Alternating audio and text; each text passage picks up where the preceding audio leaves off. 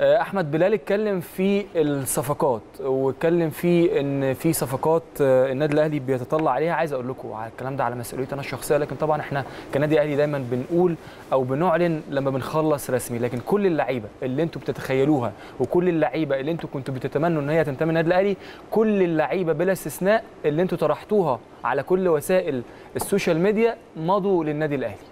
مضوا للنادي الأهلي. دي على مسؤوليتي الشخصية لكن هيتم الإعلان يعني لما نخلص كل حاجة. لكن اطمنوا جدا جدا جدا كل حاجة ماشية في إطارها الصحيح بإذن الله.